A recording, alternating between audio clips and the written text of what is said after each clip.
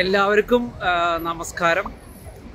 ഞാൻ ഇന്ന് ഇവിടെ പറയണത് എന്താണെന്ന് വെച്ചാൽ ഞാൻ നിങ്ങൾക്കറിയാലോ ഞാൻ വർഷങ്ങളായിട്ട് ഡിജിറ്റൽ മാർക്കറ്റിംഗ് ചെയ്യുന്നതാണ്.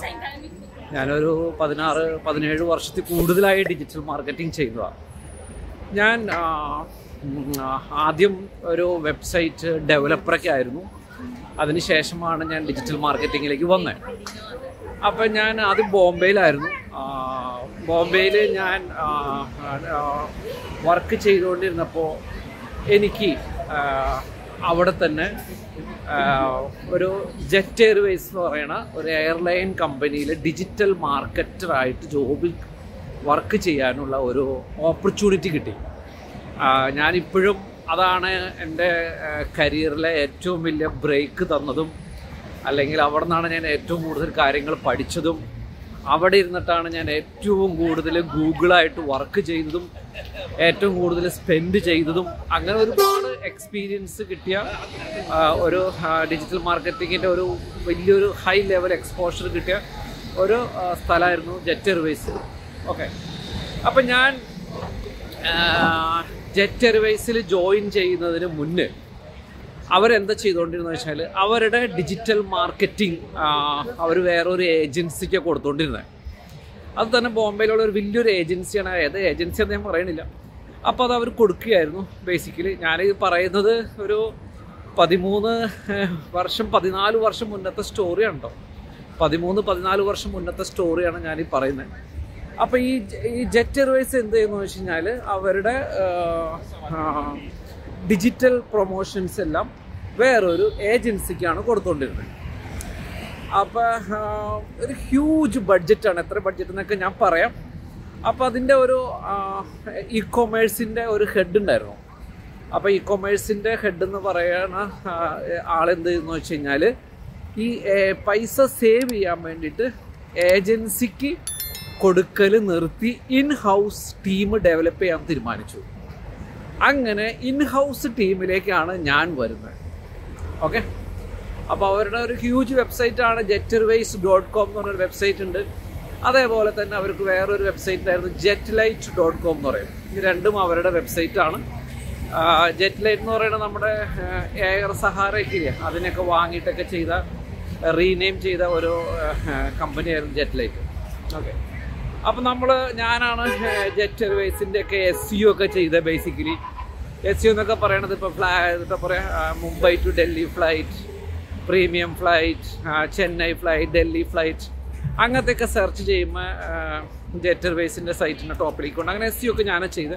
അതേപോലെ തന്നെ ഞാൻ ചെയ്തൊരു ടാസ്ക് ആയിരുന്നു ഗൂഗിൾ ആഡ് അന്ന് പതിമൂന്ന് പതിനാല് വർഷം മുന്നേ ജെറ്റ് വേസിന്റെ ബഡ്ജറ്റ് എന്ന് പറയുന്നത് ഡെയിലി പത്ത് ലക്ഷമായിരുന്നു അന്ന് അത്രം സ്പെൻഡ് ചെയ്യുമായിരുന്നു അപ്പോൾ നമുക്ക് ഒരു മാസത്തേക്ക് ബില്ലെന്നൊക്കെ പറയണത് നിങ്ങൾക്ക് മനസ്സിലാക്കാമല്ലോ മൂന്ന് കോടി അല്ലെങ്കിൽ നമ്മൾ രണ്ട് പ്രൊജക്റ്റൊക്കെ കൂട്ടിക്കഴിഞ്ഞാൽ നാല് കോടി. നാല് കോടിയൊക്കെയാണ് നമ്മുടെ ആഡ് ബഡ്ജറ്റ് ആഡ് സ്പെൻഡ് ആവണേ. അപ്പോൾ ഒരു വർഷത്തേക്ക് ബഡ്ജറ്റ് എന്ന് പറയണത് അമ്പത് കോടി ഞങ്ങൾ ഫിഫ്റ്റി ടു ഹൺഡ്രഡ് ക്രോർ ബഡ്ജറ്റായിരുന്നു നമുക്ക് ജെറ്റ് എയർവേസിൽ സ്പെൻഡ് ചെയ്തുകൊണ്ടിരുന്നത് ഒരു വർഷത്തെ സ്പെൻഡ് ചെയ്തുകൊണ്ടിരുന്ന ബഡ്ജറ്റാണ് fifty to hundred crore fifty to hundred crore okay അപ്പോൾ ഞാൻ ചെയ്തുകൊണ്ടിരുന്നപ്പോൾ ഡെയിലി ഒരു പത്ത് ലക്ഷമൊക്കെ സ്പെൻഡ് ചെയ്യുമായിരുന്നു. ഏത് കീവേഡ് അടിച്ചാലും അതായത് ഇപ്പോൾ Mumbai to Delhi flight Chennai flight Chennai to Hyderabad നമുക്ക് തന്നെ അന്ന് ഇന്ത്യയിൽ എല്ലാ എയർപോർട്ടിലേക്കും സർവീസ് ഉള്ള ഒരു ഒരു എയർലൈൻ ആയിരുന്നു ജെറ്റ് എയർവേസ് എല്ലാ എയർപോർട്ടിലേക്കും ഉണ്ടായിരുന്നു. അതേപോലെ തന്നെ ഇന്റർനാഷണൽ ഫ്ലൈറ്റ് ഒരുപാട് ഉണ്ടായിരുന്നു.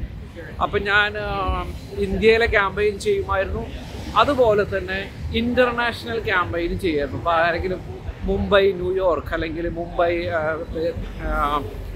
ബ്രസൽ അങ്ങനെയൊക്കെ അടിച്ചു കഴിഞ്ഞാൽ മുംബൈ ടു ബ്രസൽ ഫ്ലൈറ്റ് അങ്ങനെ ഒരുപാട് യൂറോപ്യൻ കൺട്രീസിലേക്കും മറ്റ് കൺട്രീസിലേക്കൊക്കെ നമുക്ക് ഫ്ലൈറ്റ് ഉണ്ടായിരുന്നു. ഓക്കെ. അപ്പം അത്രമാത്രം ഞാൻ ആഡ് സ്പെൻഡ് ചെയ്യുമായിരുന്നു. ഓക്കെ. അപ്പം ഞാൻ ഇതിൽ നിന്നും കണ്ട ഒരു ഷോക്കിംഗ് ഇൻഫോർമേഷൻ എന്ന് പറഞ്ഞാൽ ഇവർക്ക് വരുന്ന ബുക്കിങ്ങിൽ നയന്റി പെർസെന്റേജും വരുന്ന ബുക്കിംഗ് വരുന്നത് ജെറ്റ് എയർവേസ് എന്ന് പറയുന്ന കീവേഡിൽ നിന്നാണ് അതാണ് എനിക്ക് ഏറ്റവും ഷോക്കിംഗ് ആയിട്ടുള്ള ഒരു ഇൻഫോർമേഷൻ എനിക്ക് അവിടുന്ന് കിട്ടിയത്. അതായത് ബ്രാൻഡിന്റെ എന്താണ് ബ്രാൻഡ് എന്നുള്ളത് ബ്രാൻഡിന്റെ പവർ എന്താണെന്നുള്ളത് ഞാൻ മനസ്സിലാക്കിയത് അവിടെ നിന്നിട്ടാണ് ഒരാൾ ജെറ്റ് എയർവേസ് എന്ന് ഗൂഗിളിൽ സെർച്ച് ചെയ്താൽ നയന്റി ഫൈവ് പെർസെന്റേജും അവൻ നമ്മുടെ ഫ്ലൈറ്റ് ബുക്ക് ചെയ്യൂ. Ninety five ninety nine percentage അപ്പം അത്രയ്ക്ക് പവർഫുൾ ആണ് ബ്രാൻഡ് എന്ന് പറയുന്നത് ഈ ബ്രാൻഡ് ഉണ്ടാക്കിയെടുക്കുക എന്ന് പറയുന്നത് ഒരു ദിവസത്തെയോ അല്ലെങ്കിൽ ഒരു മാസത്തെയോ അവരുടെ എഫേർട്ടല്ല അവർ ആ കമ്പനി തുടങ്ങി ഇന്ന് വരെ ചെയ്തതിന്റെ എല്ലാത്തിന്റെയും റിസൾട്ടാണ് ബ്രാൻഡ് എന്ന് പറയുന്നത്. ഓക്കെ അപ്പോൾ ഈ ബ്രാൻഡ് കീവേഡ് എണ്ണം കൂടിയ നമ്മുടെ ബിസിനസ്സിന്റെ ബിസിനസ് വോളിയം ഡെഫിനറ്റ്ലി കൂടും. അപ്പോൾ ബ്രാൻഡ് ഡെവലപ്പ് ചെയ്യുക എന്ന് പറയുന്നത് അതിൽ ഒരുപാട് കാര്യങ്ങൾ കണക്റ്റഡ് ആണ്. ഓഫ്ലൈനും ഓൺലൈനും എക്സിസ്റ്റിംഗ് കസ്റ്റമറും അവരുടെ ഫീഡ്ബാക്ക് ഇത് എവറിത്തിങ് ഈസ് കണക്റ്റഡ് ആണ് ബ്രാൻഡ് ഡെവലപ്പ് ചെയ്യുക എന്ന് പറയുന്നത്. അപ്പോൾ ഒരു ബ്രാൻഡ് അപ്പോൾ അതാണ് ഞാൻ അവിടുന്ന് പഠിച്ച ഏറ്റവും വലിയൊരു പാഠം. അപ്പോൾ നിങ്ങൾക്ക് നിങ്ങളുടെ ബിസിനസ്സിന്റെ കൂട്ടണോ? നിങ്ങളുടെ ബ്രാൻഡ് കൂടണം ശരിക്കും. ബ്രാൻഡ് കൂടിയാൽ നിങ്ങളുടെ ബിസിനസ് കൂടും. നിങ്ങളായാലും നിങ്ങളുടെ വെബ്സൈറ്റിന്റെയോ അനലിറ്റിക് അനലിറ്റിക്സ് എടുത്ത് നോക്കി കഴിഞ്ഞാൽ കാണാൻ പറ്റും. നിങ്ങളുടെ ബ്രാൻഡ് സെർച്ച് ചെയ്യുന്നുണ്ടോ? ഇപ്പോൾ എന്റെ ബ്രാൻഡാണ് ഇന്റർനെറ്റ് ലീഡ്സ് ട്രെയിനിങ് ആരെങ്കിലും ഇന്റർനെറ്റ് ലീഡ്സ് ട്രെയിനിങ് എന്ന് ഗൂഗിളിൽ സെർച്ച് ചെയ്താൽ അവൻ എവിടെന്നോ കേട്ടുകയോ മറ്റ് മറ്റ് നമ്മുടെ അഡ്വർടൈസ്മെന്റ് എന്നൊക്കെ കണ്ടിട്ട് ബ്രാൻഡ് സെർച്ച് ചെയ്യുന്നതാണ് അവർ കൺവേർട്ട് ചെയ്യാനുള്ള ചാൻസ് ഭയങ്കര കൂടുതലാണ്. അപ്പോൾ അതാണ് എനിക്ക് അവിടെ എയർലൈൻസിൽ ഞാൻ വർക്ക് ചെയ്തപ്പോൾ കണ്ട ഒരു വലിയൊരു ഒരു അണ്ടർസ്റ്റാൻഡിങ് എന്ന് പറയുന്നത് എന്താണ് ബ്രാൻഡ് ഇപ്പോൾ ഒരു ദിവസം നൂറ് ബുക്കിംഗ് നടക്കുന്നുണ്ടെങ്കിൽ തൊണ്ണൂറ്റഞ്ച് ബുക്കിംഗ് വരുന്നത് ജെറ്റ് എയർവേസ് എന്ന് പറഞ്ഞ ബ്രാൻഡാണ് അപ്പോൾ ഞങ്ങൾ ഗൂഗിളിന്റെ അനലിറ്റിക്സ് ഒക്കെ എടുത്ത് നോക്കുമ്പോൾ കാണാൻ പറ്റും ജെറ്റ് എയർവേസ് എന്നാണ് സെർച്ച് ചെയ്യുന്നവരാണ് കൂടുതലും കൺവേർട്ടാണ് അവർ ഓൾറെഡി ഡിസൈഡ് ചെയ്തേക്കാണ്. ഓക്കെ ഇതാണ്. അതാണ് ബ്രാൻഡ് എന്ന് പറയുന്നത്. അപ്പം നമുക്ക് നമ്മുടെ വെബ്സൈറ്റും അനലറ്റിക്സൊക്കെ വെച്ച് നമുക്ക് ഈസിലി ഐഡന്റിഫൈ ചെയ്യാം. അല്ലെങ്കിൽ നമുക്ക് എത്ര വിസിറ്ററും എത്ര സെർച്ചസൊക്കെ ബ്രാൻഡിൽ നിന്ന് നടക്കുന്നുണ്ടെന്നുള്ളത്. ഓക്കെ അപ്പോൾ അതുമാത്രം നമ്മുടെ ജെറ്റർ വൈസ് ആയിരുന്നു. ഒരു കാലഘട്ടത്ത് ഇന്ത്യയിൽ ഏറ്റവും കൂടുതൽ ഡിജിറ്റലിൽ സ്പെൻഡ് ചെയ്തുകൊണ്ടിരുന്നത്.